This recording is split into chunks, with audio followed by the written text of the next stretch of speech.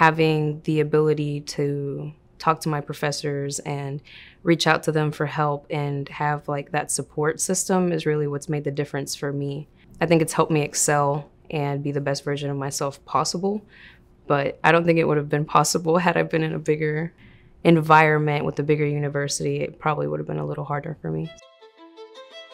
I love HCC, like not to say the least.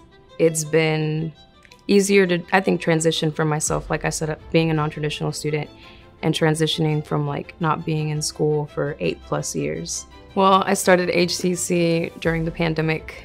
Um, I realized I needed to get my ducks in a row and it was all in or nothing to me so i started during the summer which was very hard to transition being a non-traditional student being my age and having a child as well it was extremely hard for me but i decided if i didn't do it now i was never to do it so i just started at HCC, I'm getting my associates in science, but I am planning to transfer and continue uh, going to college for possibly mechanical engineering or aerospace engineering.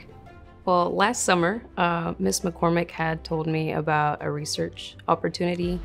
I had no idea what that was. No one had ever told me about research being part of like your experience at college. I thought that was kind of something that only real life scientists did.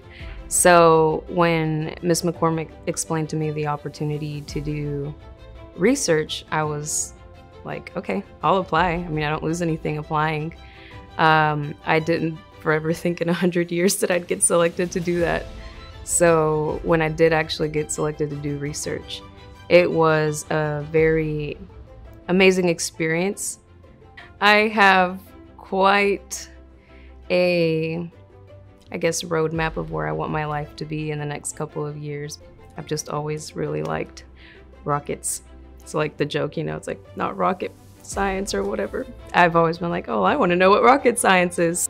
I do see myself in the future working uh, for NASA, um, specifically like renewable energy, clean forms of energy, that kind of stuff, just because I want to build a brighter future for the people that's coming after me and you know having a daughter having children kind of makes you look into the future and it's like what kind of world do i want to what kind of world do I want to build for my children? My biggest advice, I think, for anyone that's going into college is to be humble, come in with an open mind, and just be ready to engage. I thankfully had like extremely good like mentors and very good leaders, um, women who not only are they empowering, but they're there for you too. And that's, I think that made a great difference in my journey.